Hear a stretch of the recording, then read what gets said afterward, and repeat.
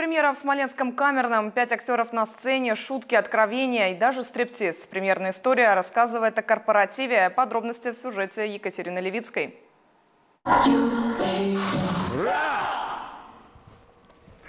Нормально.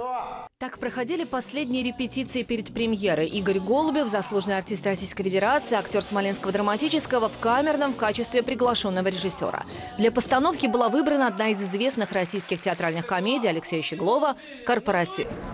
Вот первый раз с разворотом, когда вы делаете, друг друга закрываете. Ну, видно.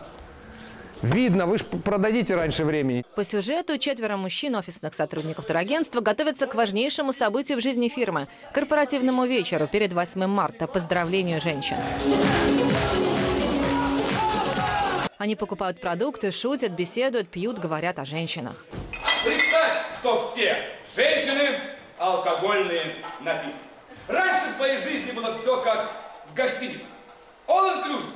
Ну, все включено. На сцене четверо мужчин-актеров. Олег Марковкин играет сложную возрастную роль бухгалтера.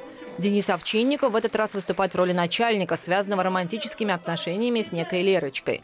Павел Пьянков играет чудаковатого интеллигента-неудачника. И Никита Куманьков в роли романтичного, уверенного в себе ироничного, подкалывающего других, играющего на гитаре, любимца женщин.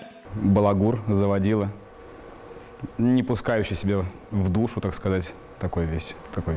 Пытается показать, что он легко к, к любым вещам относится в своей жизни.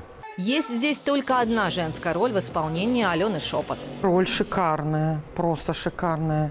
Я бы, может быть, там подумала отказаться, все-таки уборщицу, тетя Шура. Но когда прочитала, мне очень понравилось. Все начинается весело, но, как это часто бывает, смех сменяют откровенные серьезные разговоры. Мы э, определили этот жанр как комедия о мужском покаянии. Э, Потому что мне кажется, что, опять же, это пьеса обо всем. Каждого в жизни волнует женатого, неженатого человека, его взаимоотношения со второй его половинкой, с любимой, с женой, с матерью своих детей. У каждого человека оказывается свой скелет в шкафу, своя боль и свои переживания. Жена вернулась, спрашивает, что с ним? Я говорю, да ничего, просил передать. Держится на работе и ушел. Сел в машину, педаль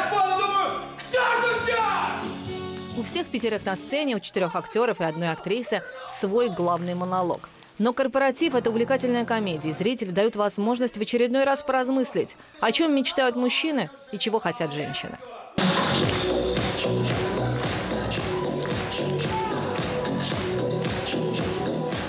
Билеты на январские показы «Корпоратива» все проданы. Екатерина Левицкая, Артем Медов, Вести Смоленск. В завершении выпуска информация о погоде.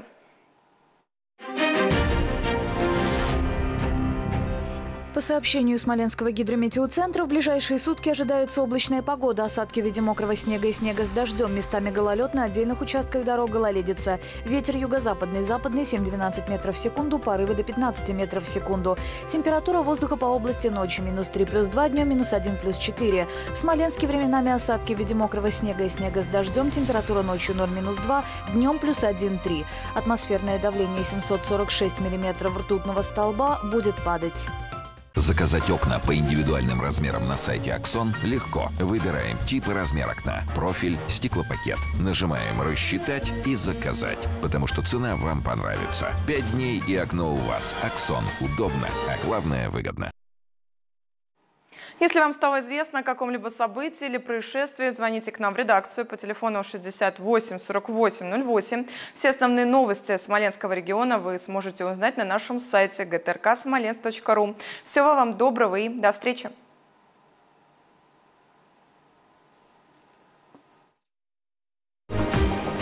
Узнайте о событиях первых дней Нового года в выпусках программы «Вести Смоленск». Наша команда с первых часов января будет следить за новостями и расскажет о них вам. Смотрите «Вести Смоленск» со 2 по 8 января на телеканале «Россия-1» в привычное для вас время. 11.20 и 20.45.